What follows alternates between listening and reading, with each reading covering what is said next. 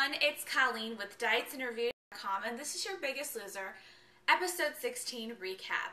The contestants met up with editor in chief from Good Housekeeping magazine to get their knowledge tested on fitness and food trivia. The person with the most correct answers won themselves a three day trip to New York City. A great prize to have after this is all said and done because everyone has worked so hard. The quiz was based off of calorie knowledge, serving size, and all the things that come with being healthy. It came down to a tiebreaker between Kristen and Mike. It was based off the calorie content of a fast food fish sandwich.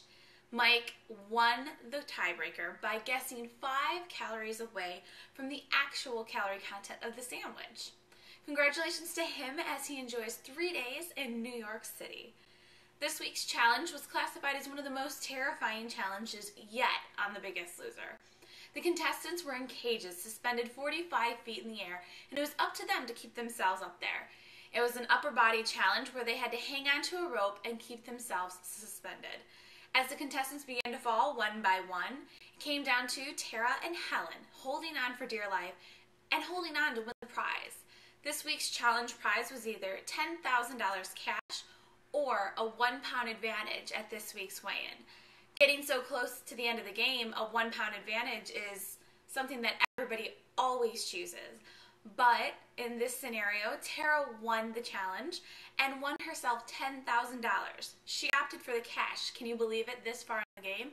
She's totally confident in herself going into this week's weigh in, and she was fine. She lost five pounds and didn't even need that one pound advantage. So now she's lost five pounds and is $10,000 richer. So congratulations, Tara. As for Helen and Kristen, they fell below the yellow line this week, putting themselves up for elimination. Due to a tie in the elimination room, the contestants ended up sending Kristen home because of the lowest percentage of weight loss. Kristen, since being home, is doing fantastic. She's speaking in front of people, inspiring everyone around her, and truly believing in herself. Kristen hopes to beat her goal of 200 pounds by this year's finale. For DietsInReview.com, I'm Coleen, and I'll see you all next week.